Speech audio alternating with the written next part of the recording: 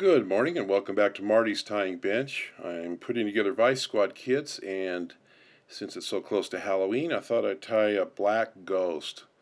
Uh, venerable old featherwing streamer. You'll see here I got a second version. Uh, the marabou wing has become very popular as well so we're going to prepare you to tie either uh, or both of these patterns. This is a kind of a classic streamer and we're tying it on a modern 4x long hook. The, if you want to tie a classic looking one, we should get you some 7x hooks, but I don't have enough of those to go around, so we're going to tie it on a standard hook. My theory is if you're going to count on the fish ignoring the hook anyway, it shouldn't matter what hook you use. Now, I'm going to start with black thread and about an eye length behind the eye and that's going to remind me where I need to stop my materials to leave enough room to tie in the wing and the beard hackle and then still shape a head and even everything up. Now I'm going to go from front to back and you'll see I'm leaving little gaps. We've got a wool yarn for a body so this doesn't have to be neat. You don't need to twist your thread flat or anything. Just move it back to above the barb for tailing material, I've got a just a yellow feather, and I want something with some web in it. You can see the web down here at the bottom end. Uh, a hen hackle would be probably a little more economical, a lot easier to use. This one's a, a Coq de Leon Rooster whiting product. And I've just trimmed some off. If they're not even, you can just take your thumbnail and just lightly tap on the back and that'll help even them up.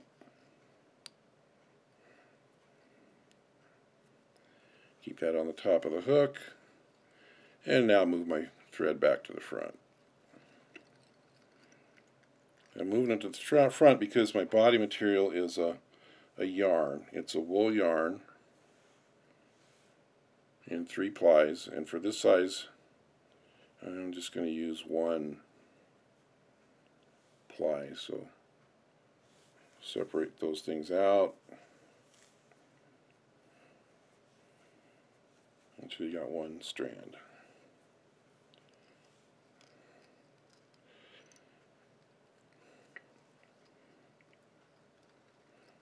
I'm tying it in the length of the shank so even with the yarn you want this body to be fairly even so that your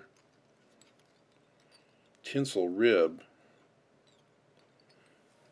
is easy to apply.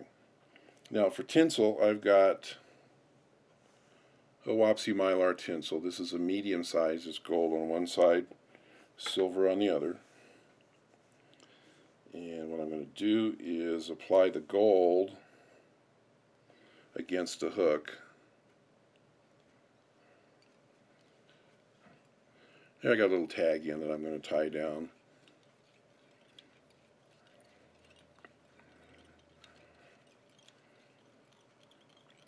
And come back to, to the front for the last time.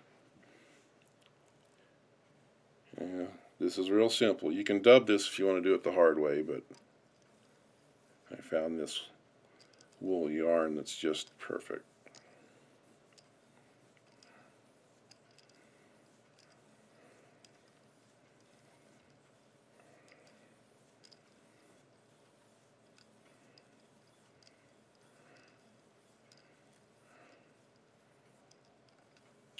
There we go. I'm going to respect my index point here and tie this off, still leaving some bare hook. Now when I wrap the tinsel, I'm going to fold it so that the silver is on the outside. That was the gold. So let's come the other way.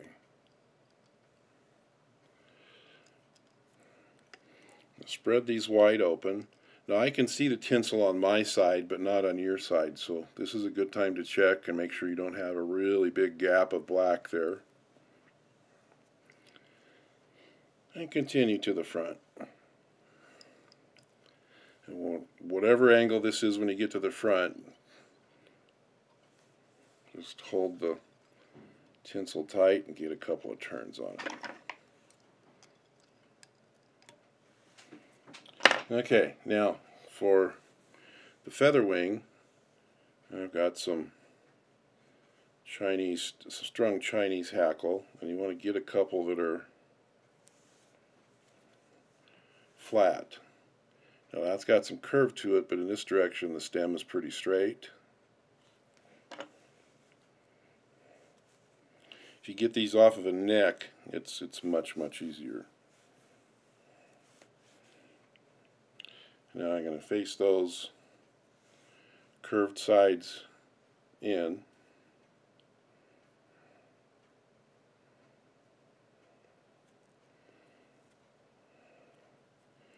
And get those tips even. Just slide my fingers back and forth until the tips are the same length. Now if this gets kind of unruly, what I'm going to do is just get a little bit of wax on my finger, just a tiny amount. Not a sticky wax,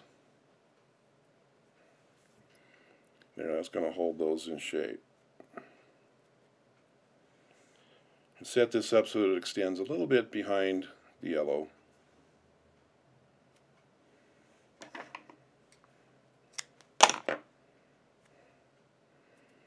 Pull those loose ones out.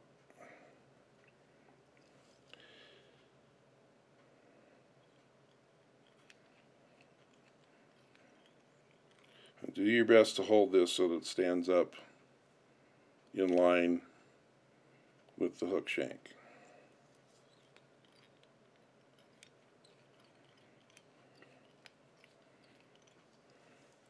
Now we want to put that yellow beard on it.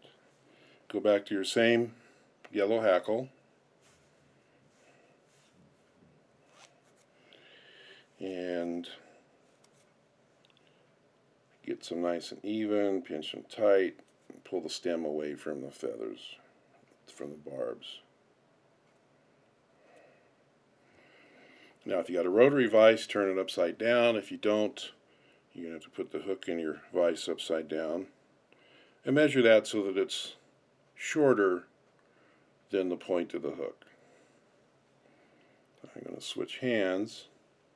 And you can tie this in and then trim the butt sections if you're feeling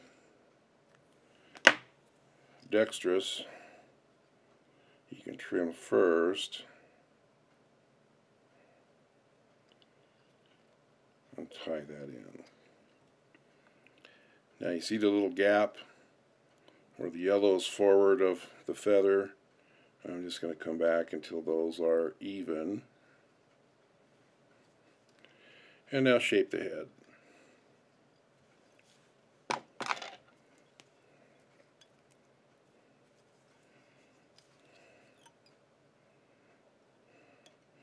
and do your final shaping with your whip finisher.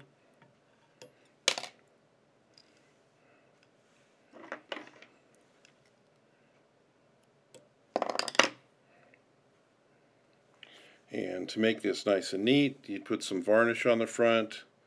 I've got some Loon thin finish that's easy to use and I won't have to wait so long for it to dry.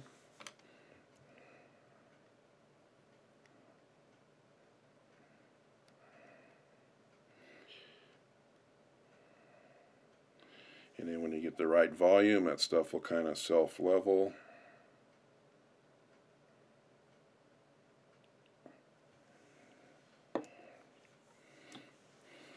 And hit it with the lamp.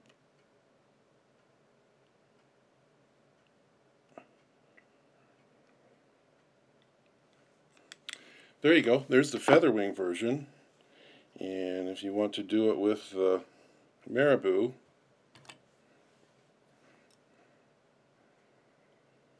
Very simple.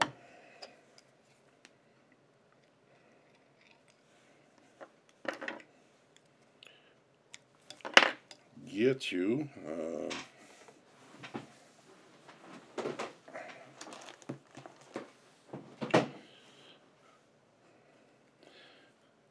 find a marabou feather with fairly long and straight wispy fibers with no stiff stem in the middle. And to prepare it, what I'm going to do is grab the stem, stroke everything forward. And when I get them even, I'll come down to the bottom and coax against the grain and anything that comes out is because it was too short. And that will leave me a fluffy wing.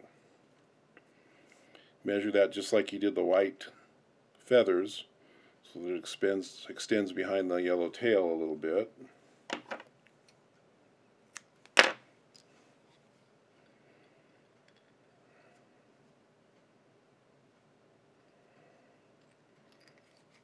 and bind that down.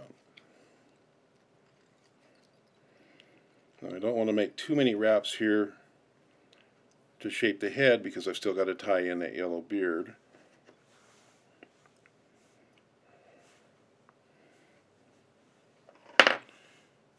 Back to my yellow feather.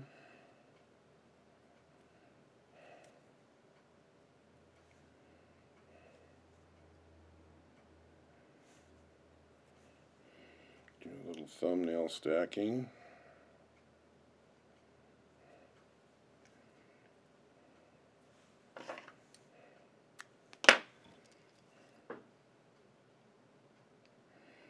Now Marabou's got a lot of action. This is probably the easier of the two versions to tie. Oops, let's shorten that up. Easier the two versions to tie and probably has a little more motion in the water. But it's neat to be able to tie it with the feather wing.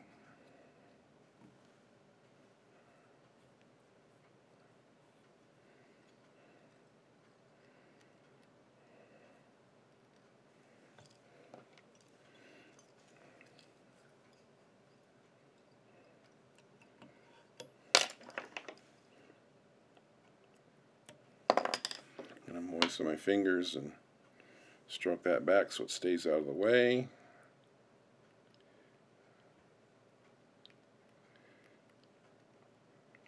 By now I got a little better feel for how fast the goop comes out so I can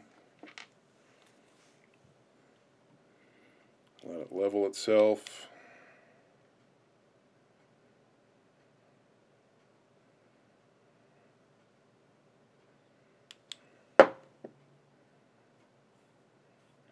There you go. Black Ghost and a Marabou Black Ghost. Have fun. Happy Halloween.